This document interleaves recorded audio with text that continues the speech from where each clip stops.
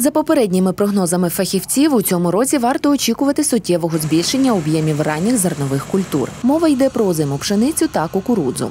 Як бачимо, на е, вигляд е, стан культури зараз непоганий, захищено від е, бур'янів, захищено від е, всіх шкідників, внесена відповідна кількість мінеральних добрив для того, щоб ми отримали необхідну кількість, е, певну кількість е, урожаю. Андрій Михайлович говорить, що саме завдяки застосуванню гербіцидів для захисту від бур'янів та відповідного підживлення врожай обіцяє бути багатим. Посприяла цьому і хороша погода. У нас вже зараз на цей період е, 15, сьогодні у нас 16 число, вже є, от, бачимо, що на одному степлі є вже по два е, качани кукурузи. Це е, нас е, радує тим, що ми надіємося, що буде хороший урожай завдяки нашій примінення нашої технології. Такої ж думки і начальник відділу агропромислового комплексу Мукачівської райдержадміністрації Ілля Йовбак. Надіємося, показники непогані. На сьогоднішній день це 40